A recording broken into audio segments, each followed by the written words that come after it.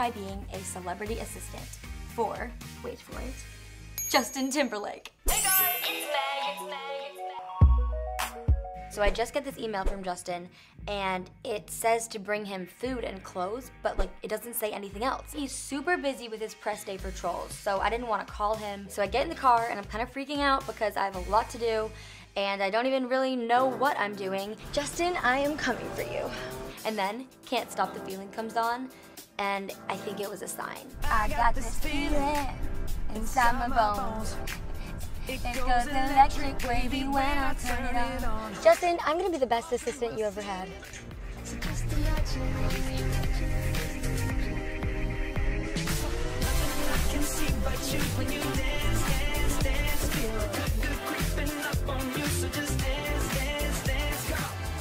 First thing I want to do is get him some clothes, and I go to the mall, and I realize that I literally don't even know what size he is, but I googled it. Great. Hello. Hey, Meg. How's everything going? Justin. Hi. Um, I'm, I'm doing amazing. Great. Everything is perfect. Nothing is going wrong. I knew this was gonna be easy for you. Oh, wait, would you mind double checking on the clubs? Thanks. See you later. So he said check on the clubs. That could mean a lot of different things. Does Justin Timberlake golf? But it could also be like like dance or like clubs in a card deck. Clubs? Googled it. What does Justin Timberlake even eat? Food? Googled it. DreamWorks. Okay, cool. Now I just have to find a spot to. I'm driving into DreamWorks. My car is full of food and, and winter clothes, and I'm kind of nervous because like I'm about to meet Justin Timberlake, and I'm kind of nervous to see if like I did the right things or I got him the right clothes, and I also just really want him to like me. I mean, he's really cool. Can't just keep doing this, so.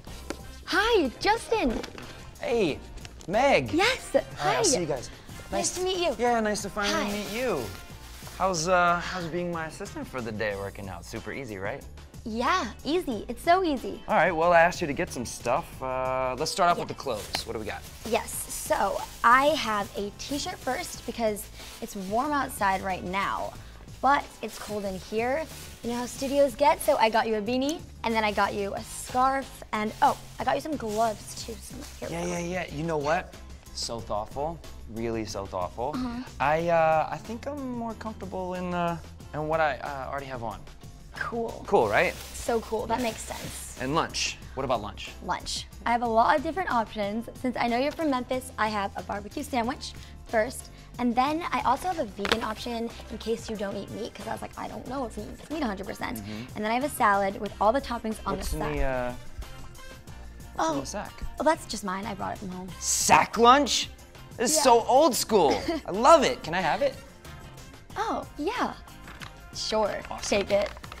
Has your name on it and everything. I think he was kind of like overwhelmed by how much stuff I ended up bringing, but I didn't want to show up with like the wrong options, so I literally just got like every option. He did end up liking one of the lunch options, although it was mine, so.